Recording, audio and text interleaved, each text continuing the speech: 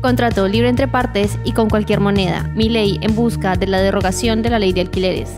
Esto no era parte del trato. Tras el triunfo de la Libertad Avanza, la Federación de Inquilinos Nacional señaló que no se están llevando a cabo las firmas de los nuevos contratos, pues se quiere esperar a qué va a suceder en los próximos meses con la ley actual. La incertidumbre crece más ahora a fin de mes cuando hay mudanzas y contratos por firmar. La normativa vigente por la cual se rigen más de 8 millones de inquilinos pasaría a ser un contrato libre entre partes. Sin embargo, muchos advierten que la desregulación en un lugar como Argentina que no tiene igualdad de condiciones podría ser riesgosa. Serían entonces los propietarios quienes impondrían las condiciones en donde más de una vez se presentaron abusos, que es justamente lo que la ley quería proteger, además de un contexto inflacionario en donde las actualizaciones del mercado no funcionan. Por ahora, miles de personas que alquilan están en medio de incertidumbres y algunos que tenían enseñado para mudarse en diciembre los contactaron para cancelar la firma, pues muchos propietarios decidieron sacar sus propiedades de las inmobiliarias esperando a la derogación, dejando a más de uno en la nada.